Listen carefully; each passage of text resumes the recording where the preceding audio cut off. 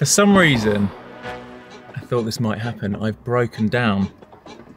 Uh, it feels like it's run out of fuel.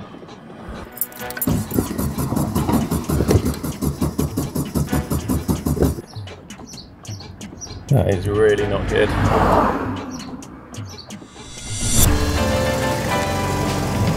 Welcome to episode two of converting my 1970s Volkswagen Beetle to electric.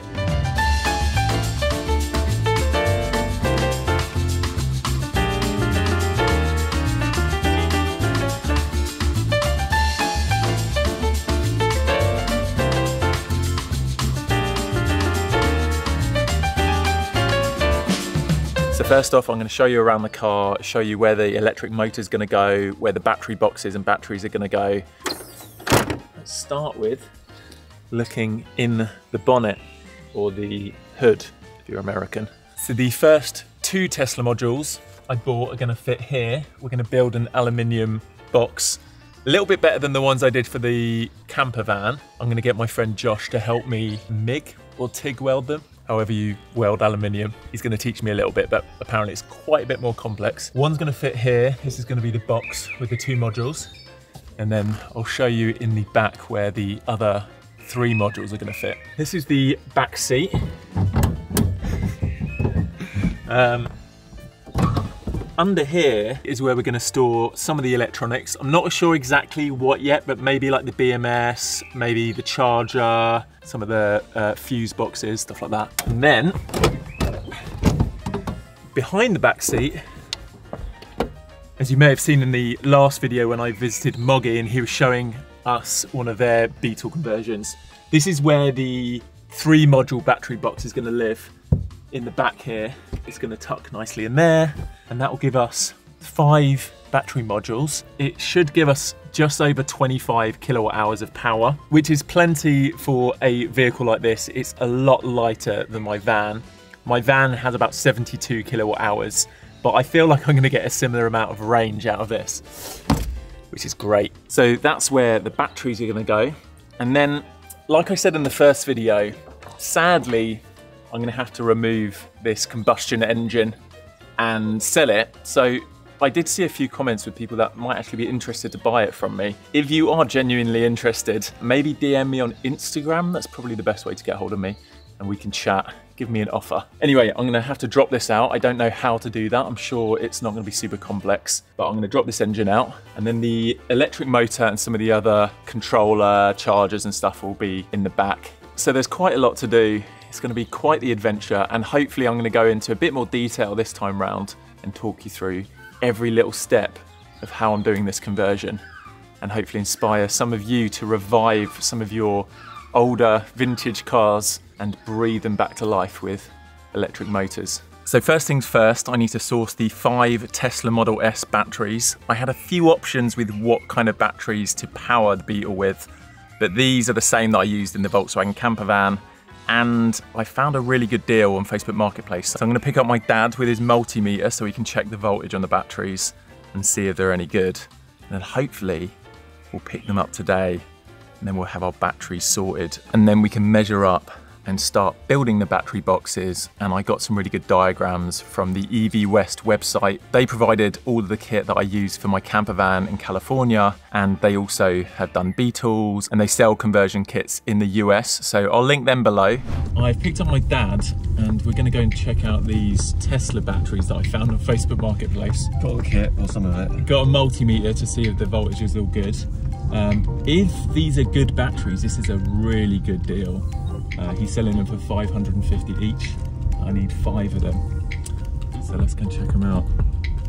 So you need to put it on the tops of the. The these yeah, right? those bits. Yeah. Sometimes you don't get as much contact. because- 19.7. Interesting. Yeah, wasn't getting a good read on this. You were saying these were given a bit of juice. So What What's a good charger to charge these up if we weren't? Because I'm going to put them in the vehicle, Um, but then So what you want to do, you want to put the BMS on them before you actually charge them. I Can't you measure each you, part you, of you the can actually somehow measure Groups. each group, cell group. Yeah. I think you have to put it on one cell and then the, the panel, the back panel. Yeah. Well, I'm pretty happy. There was some mild corrosion, but it ended up uh, saving me a ton of money and I don't think it's going to be an issue. Uh, he said it was just because they were being stored in a kind of a damp area.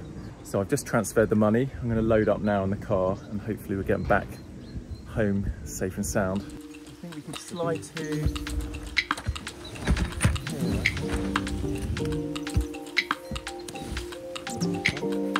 It's quite exciting because it's like one of those steps towards it actually happening. Okay, batteries collected. I've got them back at my house in my car. I think this is the safest place to keep them until I install them because I don't want them to get any damp or moisture because they've already got a tiny bit of surface corrosion. So I think keeping them in the garage, if it rains again, they could be could be a bit humid or whatever. So I think they're safe in here for the meantime. I also am gonna bring them over to my friend Barnaby and get them checked out, maybe charged up a little bit and he has also got a few options for the electric motor I want to put in the Beetle. One of which is the Hyper 9, which I use in the camper van. And there's another motor which is going to be less powerful, but it's a second-hand motor that he might be able to sell to me at a lower cost. And I am trying to do this on a bit of a budget, so we'll see if that's a viable option.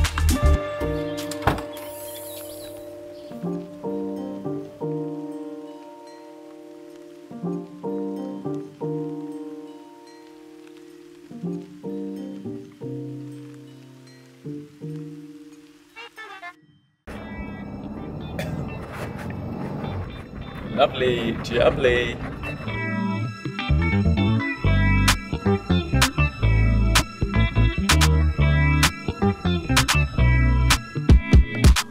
It puts a smile on my face driving this around. I was just thinking though, it is crazy that this car was manufactured the decade before I was born, so it doesn't feel like that long ago. I mean, I guess it's 50 years, but I cannot believe how much we've advanced in technology in the last 50 years. It just feels like I'm driving around like an ancient piece of technology. I think especially comparing it to driving around our new electric Peugeot, it just feels from another era. And I think that although there's something beautiful and visceral about driving an old car around, putting an electric motor in an old car, you don't lose that feeling. It's still very raw and feels completely different from driving around a new vehicle. But then you're also getting the benefits of driving electric, the speed, the power, being better for the environment. Yeah, I did see a few comments with people that feel like putting electric motors in classic cars kind of ruins them. But I really don't think that's the case. Honestly.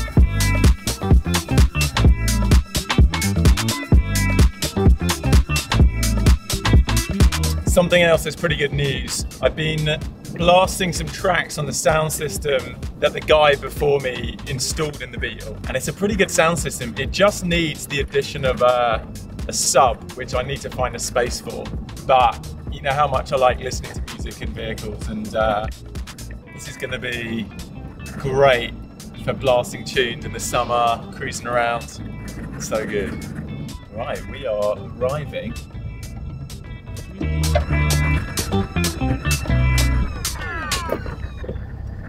I've arrived here at Electric Car Converts. My friend Barnaby.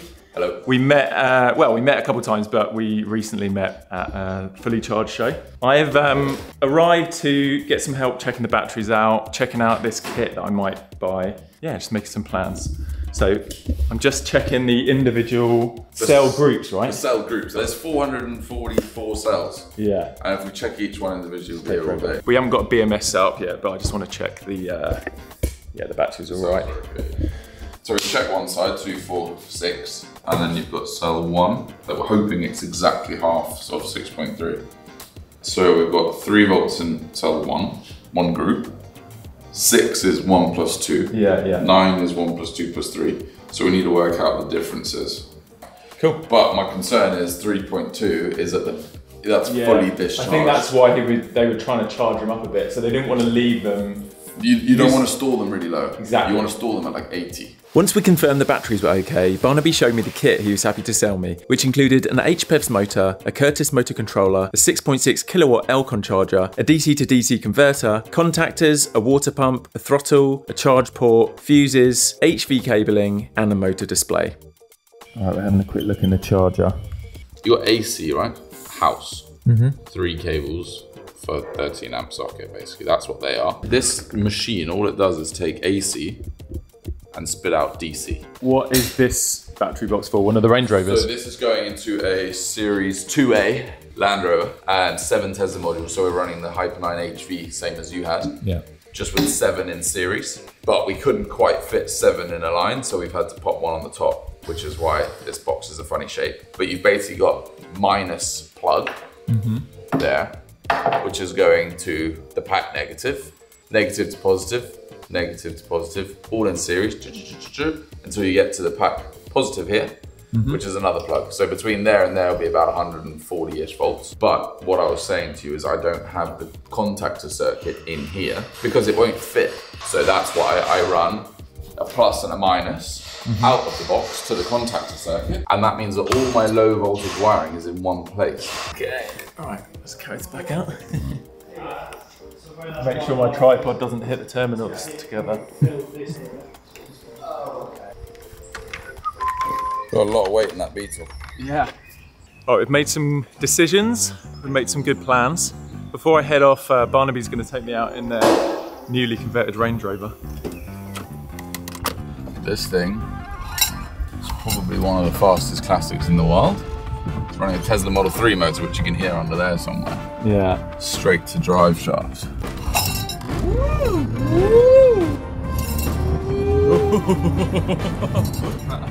Oh, the power of EVs are just mental. Especially the old cars, like when we were over in Wales with Moggy as well. It's just like it doesn't compute.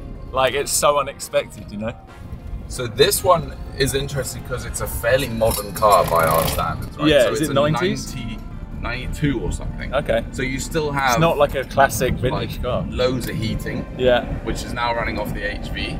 So Yeah. that, this, this is the like hair dryer we were talking about. Yeah. It still has, you know, the mod cons, the lights Mm. that it will have a new radio obviously put in there.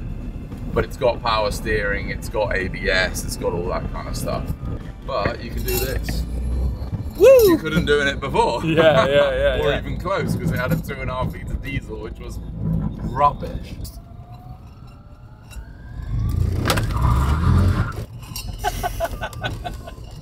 In what Range Rover can you spin the wheels? Yeah.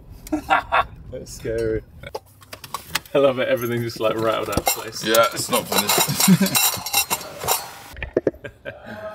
We're having a quick look to see how easy is it going to be to drop the engine out. I need to get myself one of those. Outfits. Yeah. These are amazing, these ones. Sign up to them. Yeah, everything outfits. Oh yeah. All So I got took lifetime my- warranty. Yeah, that's easy. Yeah. Where are the? It's on the rear, so it's um, you're bolted up on the rear here, onto the frame. Yeah.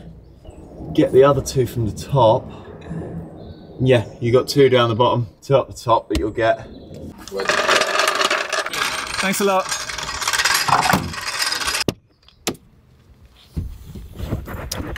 Okay. So, very interesting visit with Barnaby. There's an interesting decision we have to make. I'm to go with the second-hand motor he's selling me, but it looks like either we go with the controller he has, which we can only run at 60 volts, so it's going to be quite low powered. He said it probably will just feel similar to driving at the moment in terms of the horsepower and all of that. Or we might be able to upgrade the controller, which could be a couple of grand max, maybe a grand. It would mean we could stick with the five batteries and get a lot more power. But if we go with the existing setup, I have to get a sixth battery because of uh, how we need to figure out the voltage that's running to the motor. So it would be uh, each of the batteries is like 20 volts, so it would be uh, three in series and then uh, double that up as parallel to 60 volts. But if we were to get a better controller, we could run it at five in series at 120 and that would give us a lot more power and it would mean sticking with the original battery box design that I've got and it would save a lot of hassle. So those are the two routes right now. One route is I need to get another battery and redesign the battery box. The other route is I have to spend a bit more money and get a new controller and, and still go with the uh, second-hand motor that he's got. So I'm not gonna go with a Hyper 9 as originally planned. Uh, it's gonna save a lot of money. What I thought would be quite cool with this series as I'm going is give you a breakdown of what I'm spending and show you kind of the budget I'm setting for myself. I'm trying to do a much more budget build on this just because uh, I thought it'd be fun and it feels a bit more accessible for other people. So yeah, that's where we're at. Right, I'm gonna head back home. At the moment, I can only really duck out of the house for a couple of hours at a time because of Neo and uh, Raya's heading out this afternoon, so I'm on uh, on duty to look after him. Right, let's head back.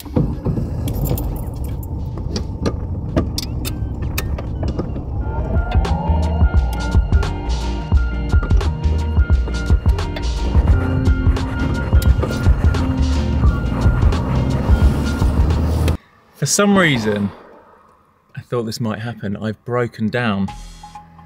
Uh, it feels like it's run out of fuel. Luckily, I'm only two minutes away from the workshop, but uh, let me let me ring Barnaby and. So annoying. Hey, mate. Uh, I just turned out of the workshop and I've broken down and I don't know, it seems like I've just run out of petrol, but it shows I've got quarter of a tank still. I don't know if someone can nip down and give me a hand. Yeah, I'll send Ryan. I'm just, um... He can, he can fix anything. Yeah, cheers. I just, I just turned, I went right and then turned left and then I'm on that road. Uh, I'll, I'll ping you my, I'll ping you my location. You've got to expect some drama. I also think for me, this highlights again that vintage cars are so unreliable. They're so prone to breaking down. I've literally drove 25 miles from Hove to here. It's kind of hilarious. Another reason why I think converting classic cars to electric is the way. So much more reliable. As long as you remember to charge them. All the power just cut and I and it just felt like the fuel had run out. Yeah. Cheers, mate. The gauge could Getting be saved. completely knackered on that. Yeah, I've had cars before like that where it shows quarter of a tank and there's nothing. I guess that's the first thing to try anyway.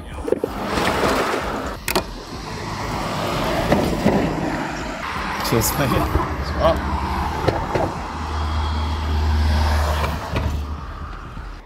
I think either way, getting this motor out here would be yeah. good.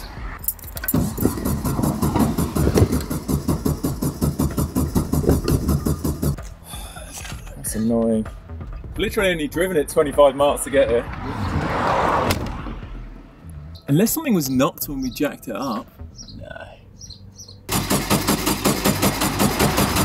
No. We're not getting fuel to it.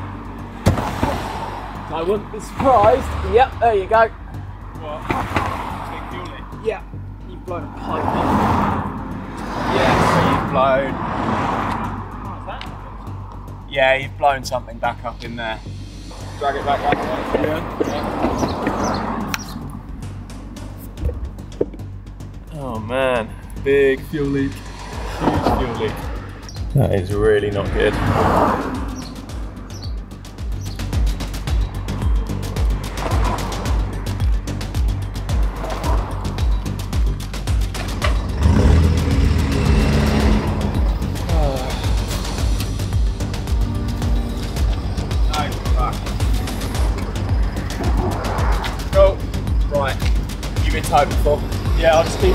Yeah.